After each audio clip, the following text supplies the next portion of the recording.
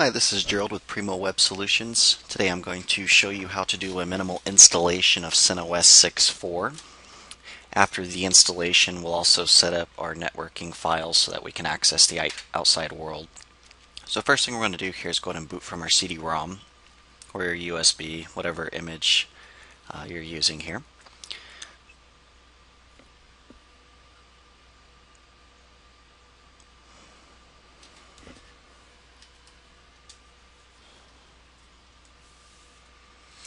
Okay, so I'm going to skip the media testing to save time.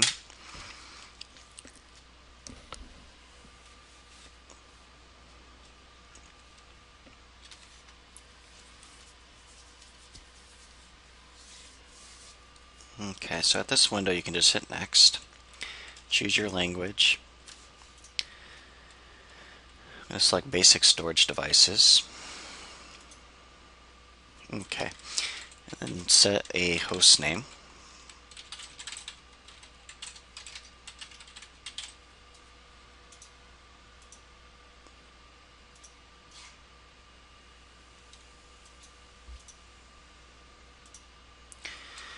And set your root password.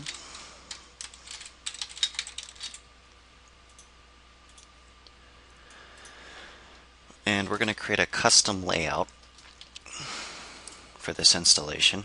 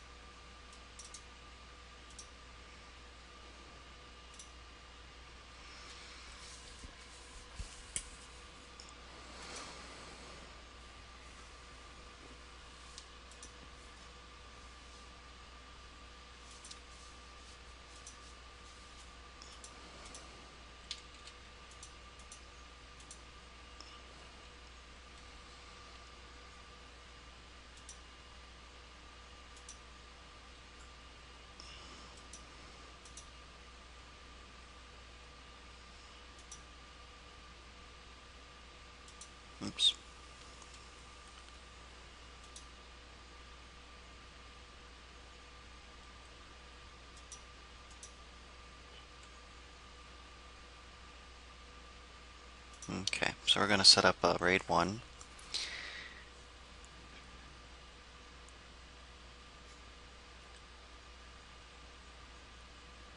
Everything looks good here.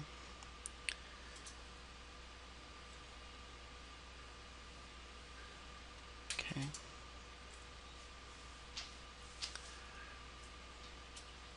So after we go ahead and proceed, we can go ahead and write the changes to the disk.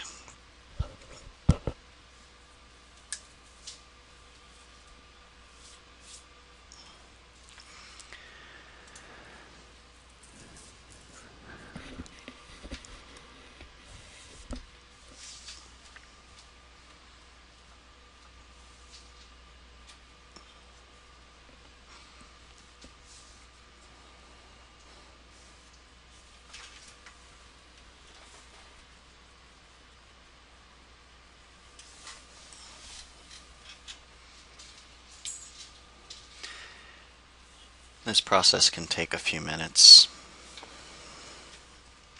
Since it's a minimal install, it's not going to take quite as long as installing a, a full web server.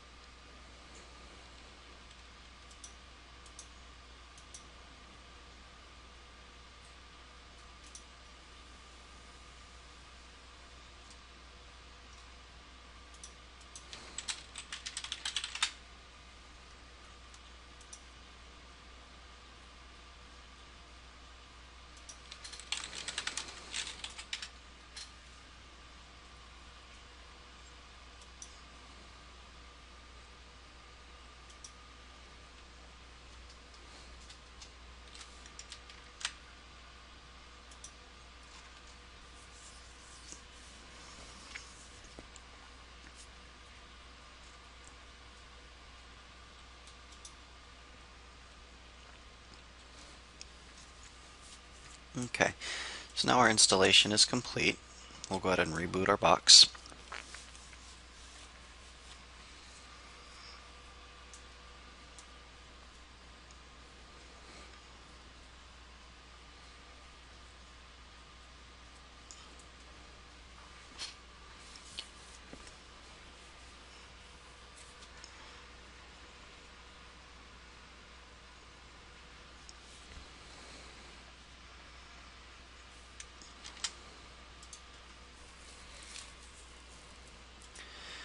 Okay, so now that our system is booted up, we can go ahead and sign in as root.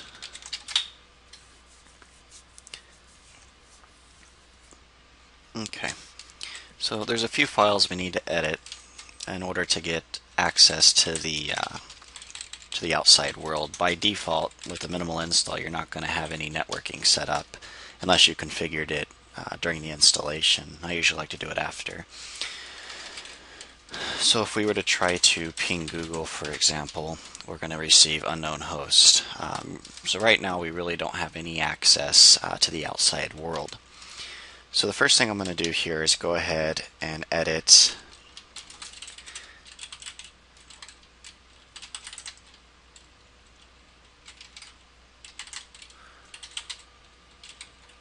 network. And in this file, I'm simply going to add my default gateway.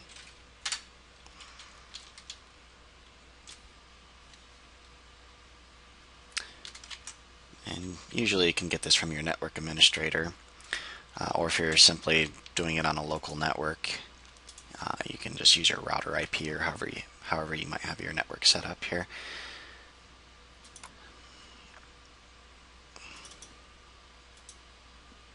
Okay. So we'll type in gateway. And for this network, we're going to put in Okay. So as soon as we finish setting up our gateway, we can go ahead and save and exit the file.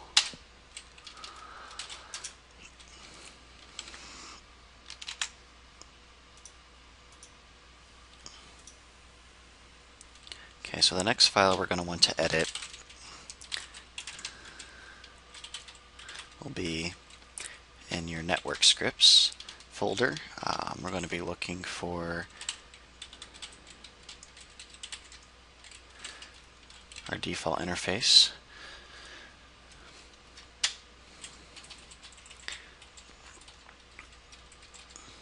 So we're going to change on boot to yes. We need to change DHCP to static. Now we need to add our IP address.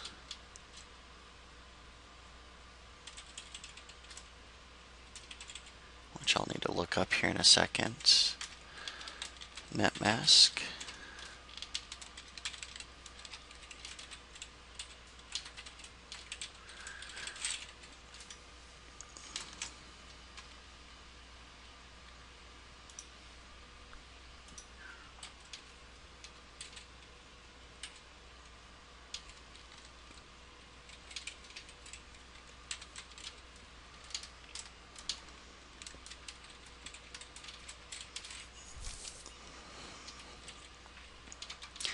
Okay, so after you enter your IP address and your netmask, you can go ahead and save and quit the file. And the last document we should edit here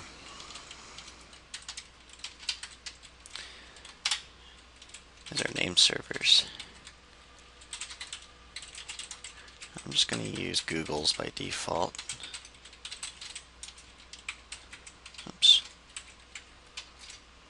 type here. Okay.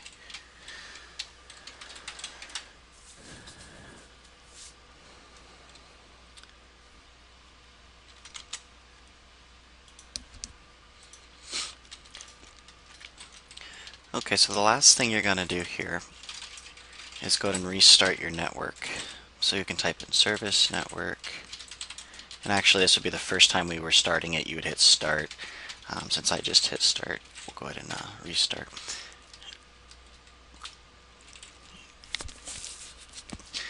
Okay, so now that we've set up all of our network config files, we can go ahead and we should be able to ping the outside world. So I'm just going to try ping google.com. So I, as you can see, DNS is now working. Uh, we're able to resolve host names. Uh, and we're also able to access the outside world. So now you'll be ready to install all your packages. If you're setting up a web server, you might want to put Apache, PHP, etc. Get all that good stuff installed. Uh, so in the next tutorial, we'll actually go through, we're going to install virtualmin using a minimal installation of CentOS. Uh, so I hope this helps you out on getting a minimal install set up. I know a common problem is people do have trouble getting those network files set up.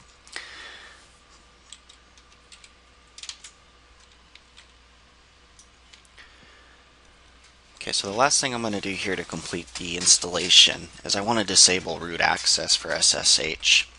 Uh, so I just have a few basic settings I'm going to want to set up here. So first I'm just going to type in visudo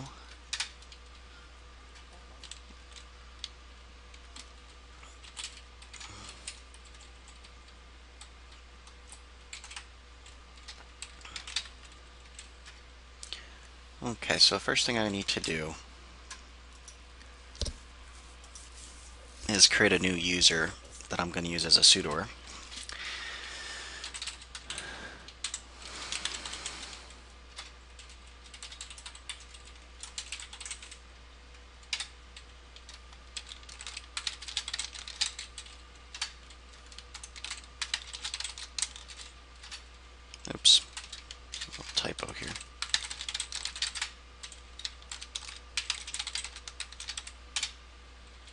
Okay. Oops. So we'll visudo again. And I'm going to add a group for my sudoers.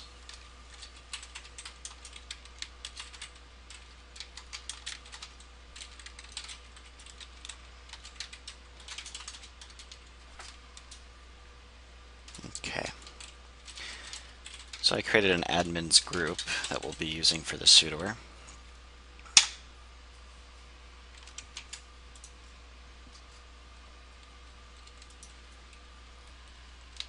Now I just need to add that group.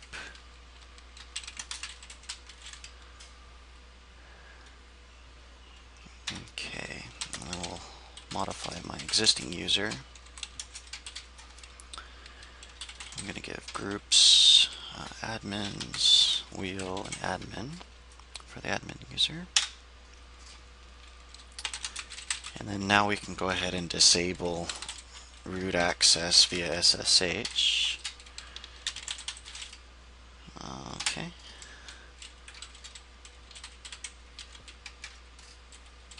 Let me go ahead.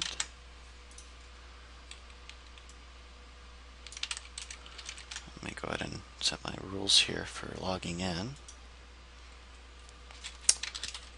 Oops. We'll say allow groups. Uh, we want to allow admins.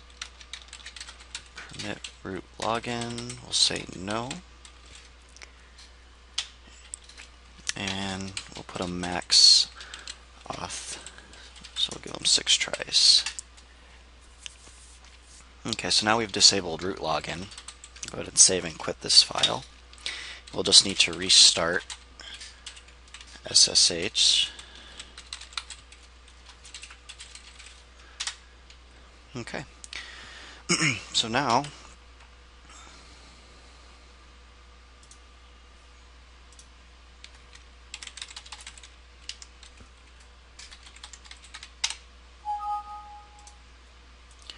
So now we can go ahead and sign in with our SSH client with the new user we've created.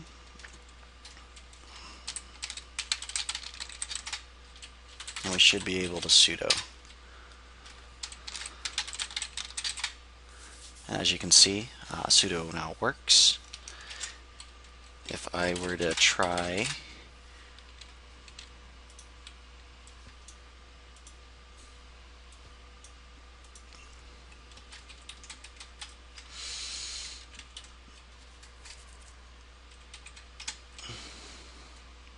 So now I'm going to try to sign in as root, and it shouldn't allow me.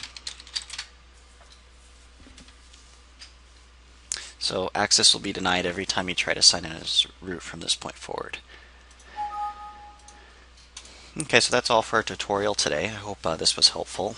Uh, so today we've done a full installation or minimal install of uh, CentOS 6.4 Final, and we got our network scripts working, and we went ahead and disabled root access and created a sudo user.